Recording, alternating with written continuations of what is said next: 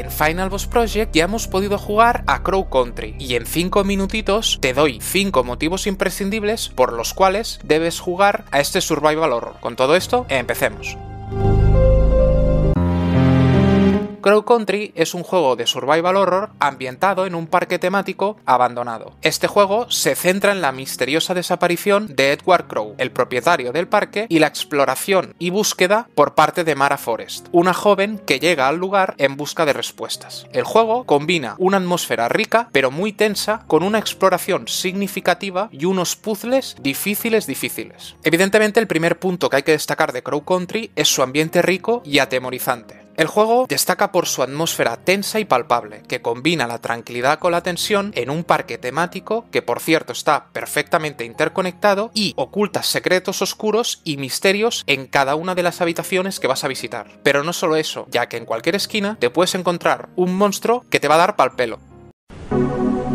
Crow Country destaca por su exploración. Es bastante profunda y requiere de nosotros que en cada estancia recolectemos todos los materiales que podemos encontrar, así como todas las pistas que podamos recolectar. En tanto que los puzzles están totalmente combinados. Lo que haces en una sala luego determinará más adelante que puedas seguir avanzando. Por eso es importante que si ves un código te lo apuntes o si ves algún dato que es de especial interés te acuerdes de él, ya que seguramente lo vas a necesitar más tarde. Además, decir que como tienes la planta subterránea del parque, puedes moverte de la parte izquierda del mapa a la parte derecha con una facilidad pasmosa. Hecho que, por ejemplo, en el primer Resident Evil no pasaba. Y ya sabemos todos lo que pasa cuando te has dejado un objeto en la otra punta de la mansión, lo que te espera. Perros asaltándote, zombies en cada esquina y hunters dispuestos a arrancarte la cabeza. Aquí eso no pasa, pero lo que sí que pasa es que en cada habitación se regeneran los monstruos y algunos son difíciles difíciles.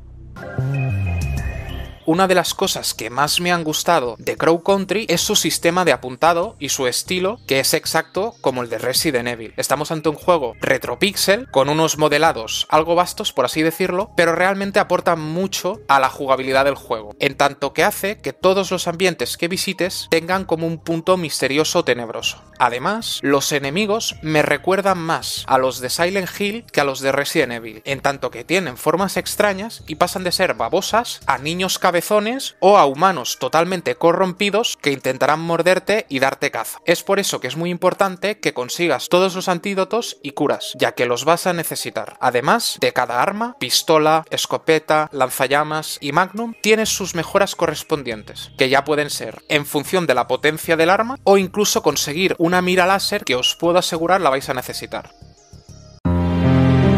Otro motivo por el cual destaca Crow Country es por su narrativa enrevesada. Os vais a encontrar en el final del juego que tenéis que tomar una decisión y en función de los personajes a los que hayáis ayudado podréis llegar a un final o otro. Por tanto, es importante que cumplas todas las side quests que te vayas encontrando y que ayudes a estos personajes, ya que aunque te caigan mal o a lo mejor algunos piensas que tienen intenciones ocultas, realmente los tienes que salvar a todos. Por tanto, de ti depende llegar al final verdadero. El juego aproximadamente te va a durar unas 3 horas, pero si te empiezas a perder en los puzzles que te puedo asegurar que te va a pasar, se puede alargar fácilmente hasta las 6. Pero el juego se puede conseguir en un 100% en 4 horas fácilmente en una segunda partida.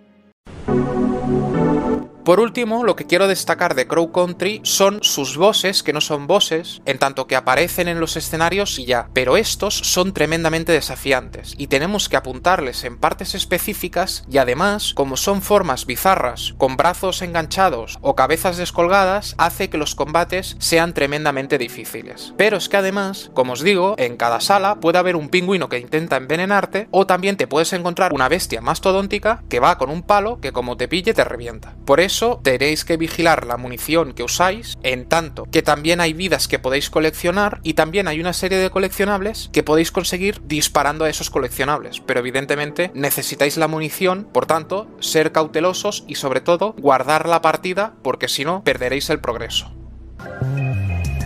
Y el último detalle que quiero apuntar es el hecho de que el juego ofrece un modo exploración. ¿En qué se diferencia del modo principal? En que este, los enemigos no se mueven, los vas a encontrar, pero no te van a atacar. Lo que hace que si te encuentras con puzzles complicados o por ejemplo secciones donde te pueden envenenar, lo pases algo mejor. Si no estás muy acostumbrado a juegos que exigen bastante de ti, te recomiendo activar el modo exploración. Y como el juego es corto, luego empieces una nueva partida plus y lo des todo. Como os digo, Crow Country es un juego perfecto para aquellos amantes del survival horror. Si jugaste el primer Resident Evil o incluso el segundo o el tercero y los Silent Hill, este juego te va a gustar. E incluso si has jugado a juegos como The Evil Within. El juego, como os digo, mezcla lo mejor de este mundo, en tanto que te ofrece combates apasionantes, difíciles, donde cada bala cuenta, donde tu pericia marcará la diferencia entre acabar la partida o no, y con unos puzzles que son terriblemente intrincados, ya que un objeto que puedes obtener tener en una punta del parque temático, lo vas a tener que recargar en la otra punta y luego usarlo en un puzzle final para poder acceder a una nueva zona. Muy parecido, por ejemplo, al sistema que tenía Resident Evil para juntar tarjetas para poder abrir puertas. Con todo, creo que Crow Country es una experiencia que tienes que jugar sí o sí, para mí es un claro 9 sobre 10, porque más allá de que en ciertos momentos los puzzles pueden ser algo complicados, es una experiencia sobresaliente en todos los sentidos. Y que por tanto, si te gustan los juegos de terror con un desafío bastante amplio, este juego es totalmente para ti.